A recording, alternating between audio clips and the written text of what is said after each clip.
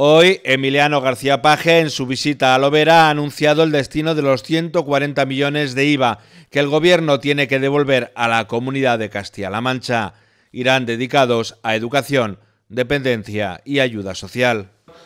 Lo vamos a dedicar fundamentalmente a tres cosas en los próximos años. educación, obviamente hay que seguir creciendo en educación.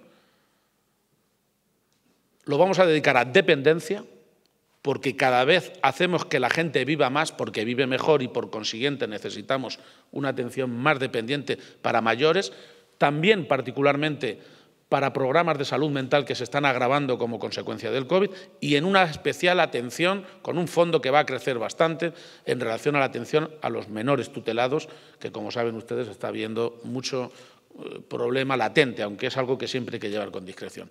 Pero lo vamos a dedicar además a otra tercera cosa, y es a definir, a poner sobre la mesa un nuevo fondo, una nueva ayuda social que vamos a plantear, que estamos preparando y que presentaremos en las próximas semanas, que está destinada a terminar de dar un empujón a muchas familias, a las más necesitadas, que se ven excluidas de la renta básica por problemas del tipo que sea o de otros fondos de ayuda. También recordó que seguirá exigiendo el fondo COVID para luchar contra esta enfermedad y sus persistentes consecuencias. Que son aparte del fondo que exigimos y seguiré exigiendo, esto vaya por delante, para el COVID que todavía seguimos teniendo.